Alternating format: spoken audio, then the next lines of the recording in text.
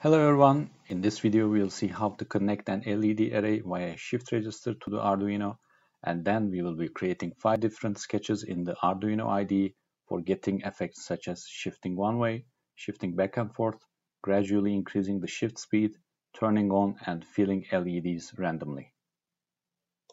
Before we start, I'd like to mention that I will not be giving the details and working principle of the shift register here since I had shown it in detail in another video. If you'd like to see it, please click on the link above. In our setup, we'll connect 8 LEDs over 330 ohm current limiting resistors to the 8 outputs of the shift register. We'll connect the VCC and ground pins of the shift register to VCC and ground pins on the Arduino. We'll connect pin 10 SR clear active low to VCC in order to avoid clearing the shift register. And we'll connect active low output enable pin, pin 13, to ground to enable output constantly. Then we'll connect pin 14, serial pin of the shift register, to the 12th pin of the Arduino, and pin 12, the storage register clock pin, to the 10th pin of the Arduino. And finally, we'll connect pin 11, serial clock pin, to the 11th pin of the Arduino. Here I drew the circuit in Fritzing so that you can set up your circuit easily. Now let's open Arduino IDE and see our examples. Before going through the sketches, I'd like to say that links to all five sketches can be found in the video description. In this first and the simplest example, we will be shifting one bit through the shift register. First, we define the pin numbers for the storage register clock, shift register clock, and serial data pin as 10, 11, and 12. This setup will be the same for all the five examples that we will see. Then we define an 8-element array which has the content as 1, 2, 4, 8, 16, 32, 64, and 128. If you convert these numbers to binary, you will see that they all have a single 1 bit in their structure. We will use this to demonstrate a shift vision on the LED array. Then in the void setup part, we define these three ports as output and create a serial connection so that we will be able to see what we are sending to the serial port on our serial monitor as well. Here I'd like to mention that I'll use PuTTY instead of the built-in serial monitor because in PuTTY I can increase the font size and change the appearance of the serial output. In the loop part, we are creating a for loop to send each of the numbers present in the numbers array and before using the built-in shift out function, which sends the data to the pin indicated with the first argument, and by the shift register clock pin indicated in the second argument, we set the storage register clock pin's value as low.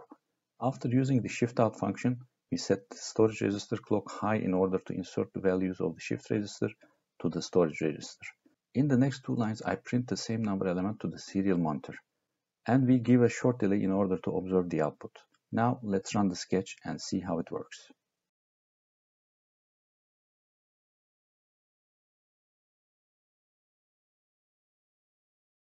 In the second example, we will shift our numbers array back and forth. You can see that the only difference with the first example is that includes a second for loop that does the shift of the numbers array in the opposite direction. Let's run the code and see the output.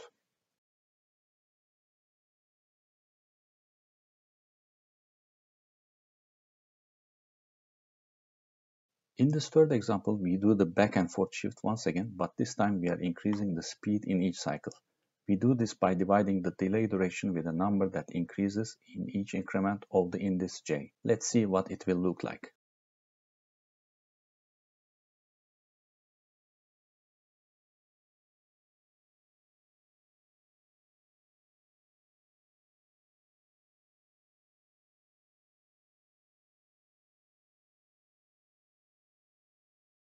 In this fourth example, we'll leave the shifting of the single bit and we are going to send the elements of the number array randomly. We do this by using the random function and we define the limits as 0 and 8. Remember that 8 is excluded. Let's see how it works.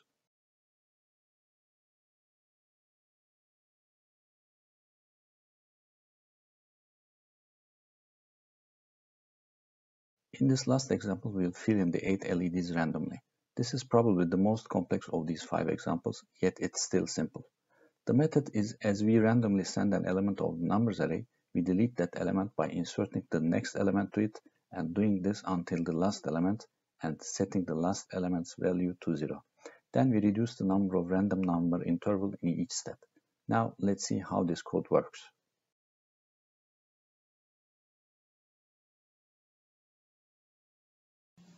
This was the end of the video. I hope it's been useful for you. If you have any questions, please write them in the comment section. Thank you for watching. Bye.